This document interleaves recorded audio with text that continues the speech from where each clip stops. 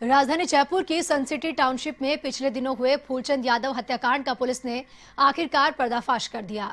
इस मामले में पुलिस ने मृतक के बेटे को गिरफ़्तार कर लिया और मामले का खुलासा करते हुए एडिशनल कमिश्नर लक्ष्मण गौड़ ने बताया कि पुलिस ने सन सिटी मामले में संदिग्ध भूमिका रखने वाले सभी लोगों से कड़ाई से पूछताछ की। जिसमें मृतक के बेटे विशाल उर्फ़ विक्की ने वारदात को अंजाम देना कबूल कर लिया। इस दौरान आरोपी ने बताया कि फूलचंद यादव के शराब पीने और साथ ही घर में आए दिन मारपीट करने के चलते उसने इस वारदात को अंजाम दिया। फ़िलहाल पुलिस आरोपी से पूछताछ कर रही है।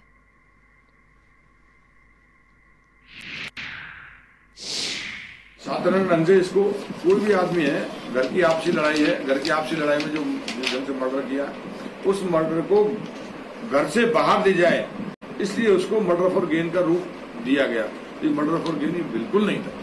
पता लगा जिस ढंग से दोनों में स्ट्रगल हुआ है, मारने वाले में मृतक में, उस ढंग से घटना पंद्रह मिनट मतलब टाइम लेगी दस पंद्रह मिनट का टाइम लेगी। मृतक का लड़का है विक्की, विकास, विशाल उस विक्की।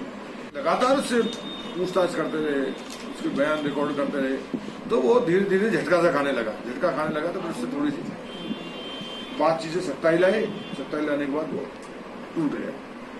हिसाब मैंने मेरे पिताजी का